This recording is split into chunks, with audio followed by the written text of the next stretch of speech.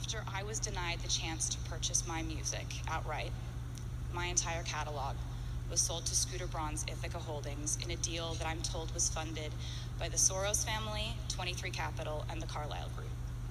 Yet, to this day, none of these investors have ever bothered to contact me or my team directly to perform their due diligence on their investment, on their investment in me, ask how I might feel about the new owner of my art, the music I wrote, the videos, videos I created, photos of me, my handwriting, my album designs.